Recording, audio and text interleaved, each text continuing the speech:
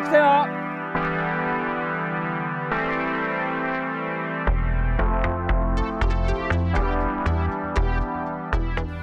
今回はスペインバルセロナ周辺でスペインのカラマーリを狙います。カラマーリってヤリイカ系のイカなんですけどものすごく大きくなるんですね。両型のヤリイカ系カラマーリを狙ってしっかりとこう真面目に絞っていっていきたいと思います。頑張ります。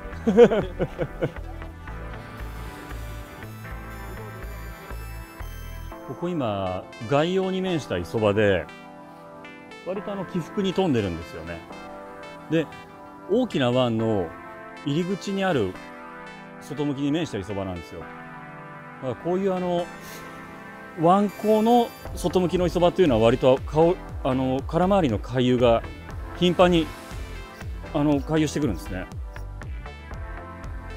で中の方も釣れるんですけど中に入ってくるのは割と遅い時間なんですよね。夕間詰めよりも。割と早い時間からこう空回りにコンタクトできるのはやっぱり外洋に面した潮通しのいい磯なんです。朝の日が昇るタイミング日が昇ってないけどどんどんどんどん明るくなってくる時間帯。もしくは夕間詰めの太陽が沈んでからどんどん暗くなっていくこの光が変化する時間帯が空回りのエギングのやっぱりプライムタイムですよね。光が変化するときに沖からぐっとこう手話に寄ってくる。今ライブサーチやっぱりいつ来るかわからないそのどんどんどんどんこう暗くなっていく中で急にこうドンと当たりが出たりするんでその当たりをいち早く引くのってやっぱりアピールの強い駅だと思うんですね。割と最初にポイントについて最初にキャストするのはエギオライブサーチですね。バトルの音で広範囲にしっかり空回りに存在を伝えて活性の高い個体に来てもらう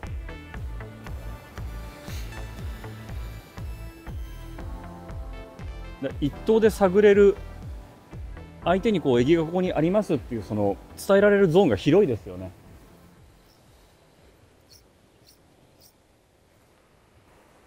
そうですね。あのよく YouTube とかであの日本のアングラーがすごくしゃくってるこう鋭いしゃくりとか見たことあると思うんですけどあのヨーロッパの検査キーカーはその日本で狙ってる煽り方はまた違う種類なんで割とタイトであのおとなしめのアクションの方が好きなんですね。激しいアクションというよりは割と糸吹けが出ずに同じレンジをキープしやすいあのショートジャークですね。巻きながらしゃくる。これを34回セットの方が大きくレンジも外さないですし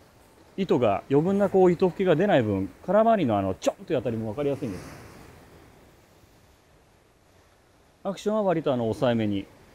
エギが動いて同じレンジをキープしやすいアクションの方が超過はあの確率は上がると思います。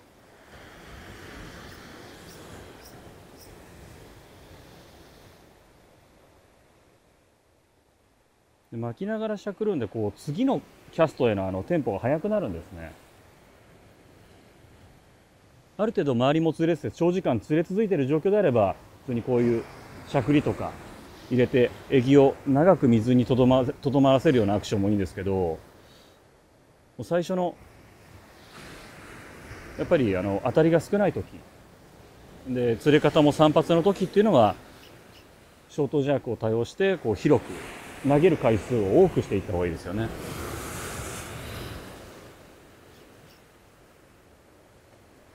で足元まできっちり引き切ることですね。空回りって割とあの岸際まで餌を追ってくるんで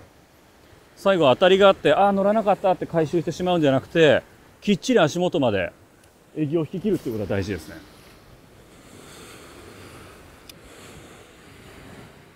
岸際に来るとあのどうしても底付近攻めてると波に揉まれて岩の影に入って根がかりしやすくなるんですねだ足元付近まで来たらもうエギを中層から上まで上げて OK 来たよ！やっぱり1投目早いっすよねライブサーチ。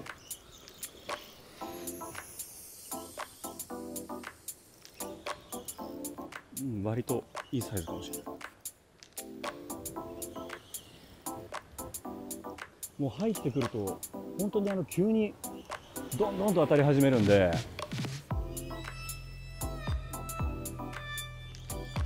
この光が変化するタイミングって本当によく釣れるんですよ。で長時間続かないんですね。OK いいサイズ。エギオライブサーチ。お元気。この音のアピールですよね。やっぱりエギの存在が遠くに遠くに届くんで自分のキャストの一投の効果がものすごく広がるんですよ。大げさに言えば通常のエギを23回キャストするよりもその一投にものすごく効果が高い。イカを寄せる力が強いんです。特にこの光が変化するタイミングで入ってきた空回りってものすごくやる気があるんで割とアピールの強いエギの方が一杯を引き出す力っていうのは強いと思います。いいサイズ。よかった。持ち合っていいんだ。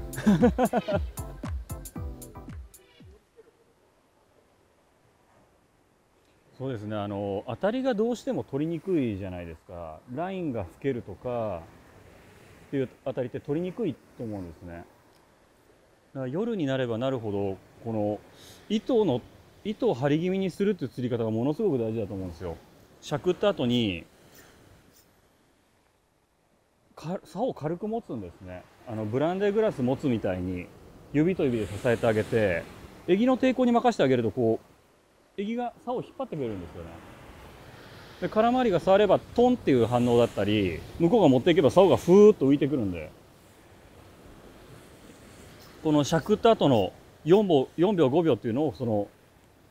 しっかりあの塩とエギに任せてあげるような持ち方です。ね軽く持って。実は竿ってしっかり握っちゃうと何も伝えてくれなくなっちゃうんですよね。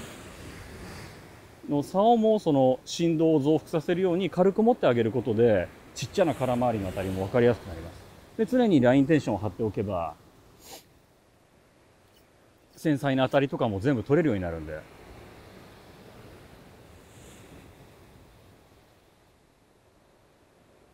でギが近寄ってくれば来るほど水深があればいいんですけどね。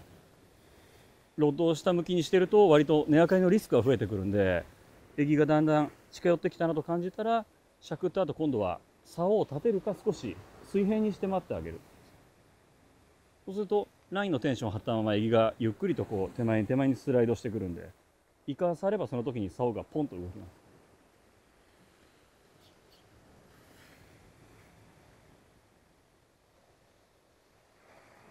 この状態にしてれば手前の岩に干渉したらゴリゴリっとかこうザラザラっとした感触があるんでそしたら少し上げてあげて根明かりを返しながら当たりを待つということですね。今ここであのフルキャストしておよそ8メーターから9メーターぐらいあるんですね。50メーターぐらい行き飛ばすと。8メーターぐらいあると大きく分けてあの底付近と中層もしくは表層ってその3段階に分けて探るといいですよね。一番最初のキャストで何秒でそこにつくかっていうのを確認しておいて例えば30秒でそこにつくついたとしたら次はじゃあ15秒で探ってこよう。そうすると中層が引けますよね。3回ぐらいしゃくってラインのテンションを張ったまま5秒から6秒まではまた同じレンジにエギが戻っていくんで。しゃくって竿を軽く持って4秒から5秒待つそうするとエギがずっと同じ層を引いてこれるんで。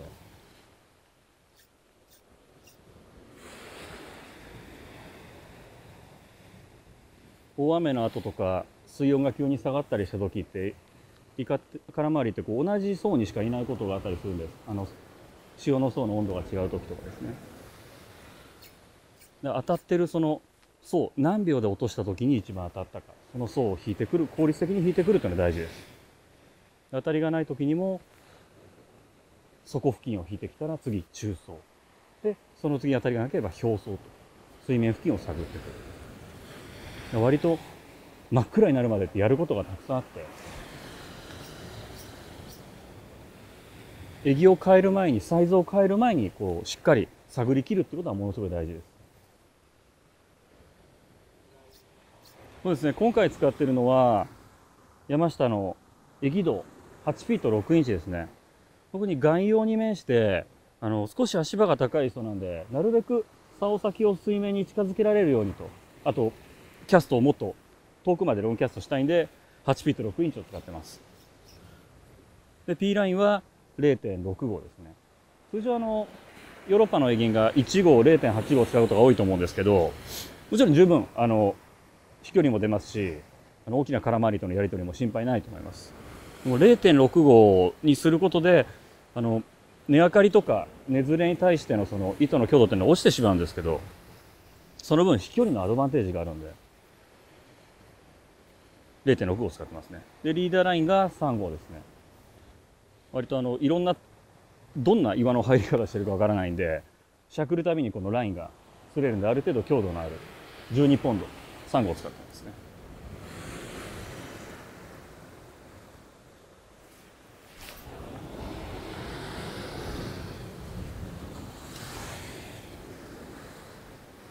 やっぱりメインになるサイズが3号を基準に2.5号にするか風が吹いたりその深い場所を狙うときは3.5号そういったサイズ営業を使っていく3号軸にサイズ使っていくのはやっぱり飛距離がしっかり出せる8フィート以上というのはおすすめですね。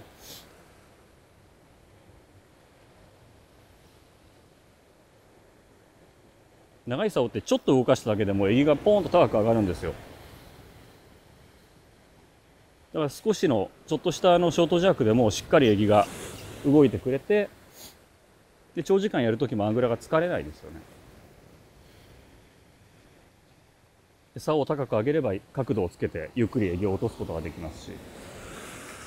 風があればロートを下げてうねりの影響とか風の影響を回避することもできます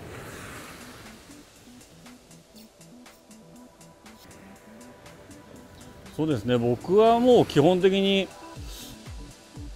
あの背中の色は水が濁ってるか濁ってないか。水が濁っていればピンクオレンジとかライトグリーンとか明るい色を使ってで水が澄んでいれば割とナチュラルに近い色を使ってるんですね。で小魚とかその跳ねてるのが見えればそのサイズに合わせてあげたり。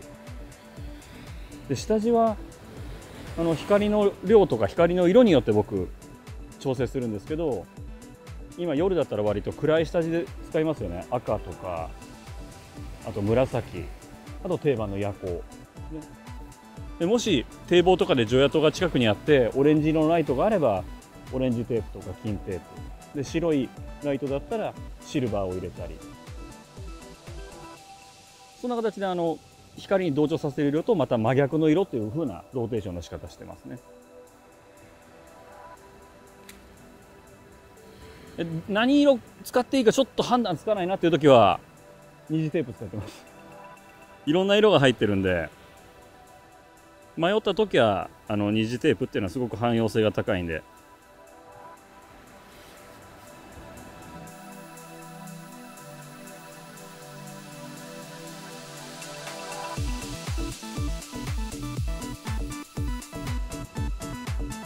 でかいよ結構。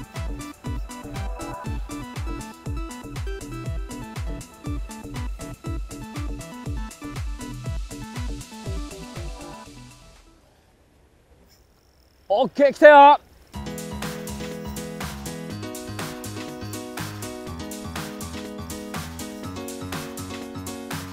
今朝まつめなんですけど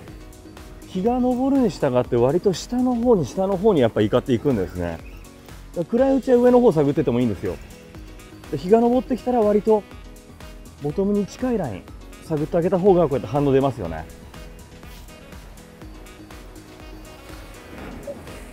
いいサイズ。OK やりましたね。もうもう終盤かなと思ってたんですよ。本当は暗いうちの方があの岸近くにもっと寄るんですけどちょっとダブラが立ったんですよね。魚がうわーっと追っかけてたんで結構大きい規模だったので大丈夫かなと思ってたんですけどやっぱりそこの方ですよね。日が高くなるに従ってそこの方。光が上がれば上がるほど下に下にやっぱイカイカ下がる傾向にあるんできっちりそこまで落として早い時間は表層で中層を探りながらで日が昇ってきたら低層付近。やっぱり答え出ますよね。嬉しい。で少しうねりが高いんですよね。あの